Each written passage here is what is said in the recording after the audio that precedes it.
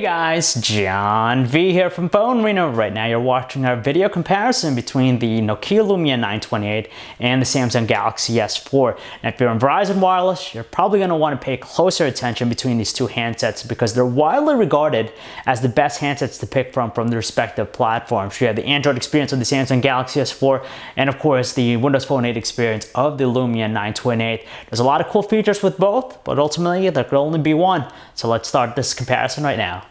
On paper, the Samsung Galaxy S4 is both the thinner and lighter device between the two, which helps to make it the better handset when it comes to in-the-hand feel. It just feels a lot more comfortable to hold, whereas with the Lumia 928, with its sharp angular sides and hard lines, it doesn't make for the best ergonomics. As far as purely design, though, there's something attra more attractive with the Lumia 928. It's a little bit different, whereas with the Galaxy S4, it pretty much mimics its predecessor's design. And when it comes to build quality, uh, we'd have say the Lumia 920, it's a little bit sturdier, which is aided by its uh, weighty feel. But just because it has that closed design, there's all the seams uh, are pretty much tight. Whereas with the Galaxy S4, uh, it does come off just a little bit more brittle between the two. There's actually a couple similarities that are related to their displays. First, they rely on AMOLED technology, so you get that showroom wow factor with their oversaturated color reproduction. Definitely stands out. At the same time, you get that those great wide viewing angles. You don't see that much distortion and decent outdoor visibility too, so we don't find one to be better than the other. The other second thing that they have they have in common is the fact they have uh, super sensitive displays. So if you're wearing gloves, they'll still be able to actually track all your your touches and. Wipes but overall, we'd have to go with the Samsung Galaxy S4 just because it has the higher resolution display. A 5-inch Super AMOLED HD display on there, so 19, 1920 by 1080 pixels versus the 4.5-inch PureMotion HD Plus AMOLED display on the uh, Lumia 928. So it's 1280 by 768 pixels. And obviously when you do the math, the pixel density goes to the uh, Galaxy S4. And that's pretty much it. Uh, even from a zoomed out view in the web browser here, uh, it's instantly noticeable that the Galaxy S4's display is by far the more detailed between the two. Whereas with the Lumia 920, it's a little bit on the garbled side. Uh, you know, for most people, it's not going to make too much of a difference, but you definitely notice that detail superiority to the Galaxy S4. And the other thing is that the Galaxy S4 relies on the uh, new capacitive panel where it's actually able to recognize your finger or track your finger um, even as you're hovering over it. We didn't have any issues trying to activate the buttons below their displays. With the Lumia 928, the trio of Windows capacitive buttons, they're spaced far away from one another to reduce any accidental presses. And with the Galaxy S4, it has two capacitive buttons that surround the middle home button. When it comes to the physical buttons around their bezels, we'd have to go with the Samsung Galaxy S4 set, both the power button and the volume control, just because they're a lot more pronounced and have more feedback than the Lumia 928.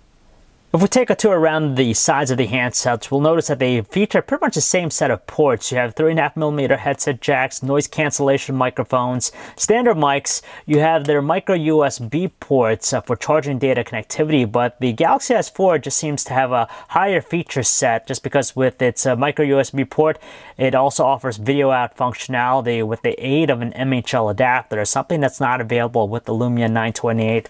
On top of that, also with the Galaxy S4, it features a built-in IR blaster, essentially turning the handset into a universal remote. If you're serious about taking photos, you'll surely appreciate the cameras on these two devices. You have a 13 megapixel autofocus camera with an LED flash on the Galaxy S4 and it features uh, backside illumination and also digital image stabilization. On the Lumia 928, it's equally superior. You have an 8.7 megapixel PureView camera which features uh, an f2.0 lens, Carl Zeiss optics, optical image stabilization, and a xenon flash. Something worth pointing out with the Galaxy S4, you have the removable back cover so you gain access to its battery and also features expandable storage via its micro SD card slot. Can be useful for a lot of people. They both feature NFC technology, but the Lumia 928 features uh, wireless charging. Ultimately, as always, it's going to come down to the platform experience that's going to be the deciding factor for everyone out there. And essentially, it's a matter of personal preference. Now, if you want something that's easier to learn, stick with the Windows Phone 8 experience. It definitely also stands out for its uh, dynamic start screen with all the live tiles and a modern UI that's uh, seen heavily in all the hubs uh, that the pl platform has to offer. But it pales in comparison in terms of the feature set offered by the TouchWiz Nature UX experience that's running running on top of Android Jelly Bean on the Galaxy S4. Um, so just not only do you have a lot more personalization, but on top of that, you have just an ecosystem that's diverse and also uh, more comprehensive than what you find with Windows Phone 8. At the same time, too, you just have an insane amount of feature set. For example, you have the multi-Windows support with uh, the Galaxy S4, so you get that really cool way of actually multitasking. You have Google Now, uh, which helps you track, uh, manage your daily life. Um, and on top of that, uh, you just have all the other unique features that are found with the TouchWiz experience. Even though you have a larger display on the Galaxy S4, it doesn't really prove to be any more advantageous when it comes to the messaging experience. And you can tell with the layouts, with the portrait options, it's pretty much the same, but you do gain the benefit of a, of a numbers row on the top here with Galaxy S4. They're both very responsive and quick, but thanks to the killer autocorrect feature of the Windows Phone 8 keyboard, we just prefer using the Lumia 928 for typing up messages. But still, you also have the cool swipe method as well well as an alternative with the Galaxy S4. Here's a perfect example why processors don't really dictate the true performance of a handset. On the Galaxy S4, it has the beefier specs. It's a 1.9 gigahertz quad-core Qualcomm Snapdragon 600 processor with 2 gigabytes of RAM, which on paper easily destroys um, what the Lumia 928 features. It has actually a 1.5 gigahertz dual-core Qualcomm Snapdragon S4 Plus processor with 1 gigabyte of RAM. So a quad-core versus dual-core, but honestly, honestly, that doesn't really matter here just because their performance are pretty much on par to one another uh, for most basic tasks. For example, opening up applications, uh, even gaming to an extent, uh, they pretty much exhibit the same responses. So uh, we're quite satisfied with both. And honestly, uh, they're both very quick. You might see an occasional slowdown or lag with both handsets, but it's nothing ever terrible. On the surface, the respective browsers on both handsets work pretty exquisitely and also identical to one another.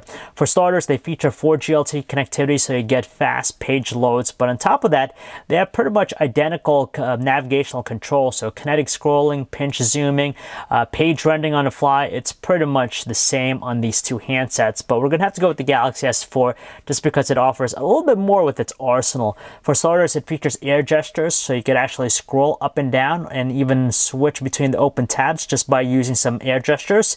You also have the uh, panel, as we said before, which is uh, sensitive, so you could actually hover over different elements. In this case, you could zoom in. And finally, uh, it features also smart scroll, so it tracks your eye to actually scroll up and down. Quickly looking at their stock music players, we're going to head into the Windows Phone 8 one here just because it has that attractive appeal with its presentation thanks to the modern UI that's seen heavily, again, in the, uh, in the hub itself. In contrast, the um, TouchWiz music player just looks a little bit conventional by today's standards. As an alternative, they also have their own streaming service. You have Nokia Music on the Lumia 928 and the Google, Google Play Music app with the Galaxy S4. As far as audio quality, they're both exceptionally loud. There's just a little bit of stronger output with the Lumia 928, whereas with the Galaxy S4, its output has just a little bit of a sharpness to it. One of the nice things about both when it comes to watching videos that they have support for the same codec. So you have uh, XVID, DivX, H.264, and even MPEG-4. And you can see with their performance, it's nearly flawless. They're both smooth with their playback. And on top of that, seeing that they use AMOLED technology with their displays, uh, you really get those nice saturated colors, which makes it more appealing uh, to watch the videos. Now, we'd probably go with the Galaxy S4 just because it has a slightly larger display and the higher resolution uh, as well. But on top of that, just the neat features again really make it stand apart. You have the hover hover feature here. You could actually preview the the uh, video, and you have even pop-up play, which actually layers layers it on top of whatever you're doing, so better multitasking. Honestly, it's really hard to say which one concretely takes the better photos outdoors just because the results are quite similar to one another. Sharp looking photo photos with good details and uh, pretty much the same color reproduction. But the Lumia 920 shows its worth under lower lighting conditions, even indoors under artificial lighting, just because it takes the, the sharper looking images. Uh, now, thanks to its f2.0 lens and also optical image stabilization, it just looks cr more crisp. On top of that, you gain a lot more detail detail, and it's less prone to actually, uh, it's less prone to blurring, which we see with the Galaxy S4. And of course, under lower lighting conditions, it just draws out a little bit more detail. The shots tend to be a little bit more brighter, and with its xenon flash, it casts an ample amount of lighting, so you get some vibrant colors, whereas with the Galaxy S4, it tends to look a little bit on the dull side.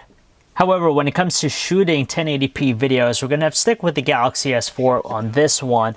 Specifically, it just has the sharper looking visuals between the two, and even though it doesn't offer the same optical image stabilization that you see with the Lumia, uh, Lumia 928, it has uh, digital optical image stabilization, so it does rather well.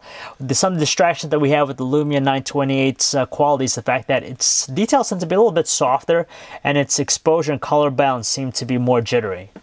Call quality easily goes to the Lumia 928 because of a couple of reasons. For starters, its volume output both with the earpiece and the speakerphone is a lot stronger than the Samsung Galaxy S4.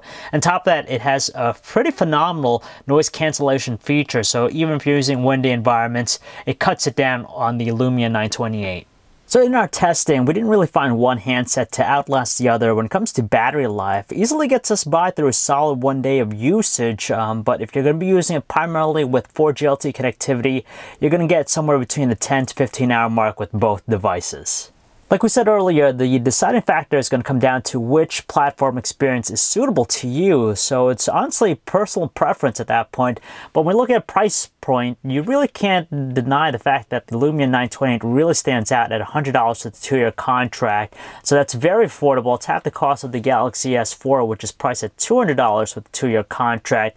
But then again, the Galaxy S4 does offer some unique features that the Lumia 928 lacks. For example, you have the uh, ability to use all the air gestures, and on top of that, the, the hover feature of the display, something unique to it.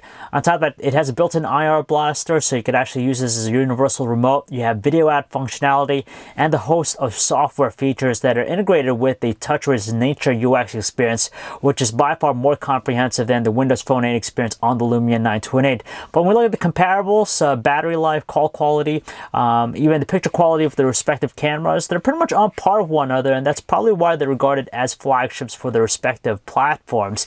So either choice, uh, it's going to be great for you, but uh, as we said already, it's going to come down to platform experience, so personal preference.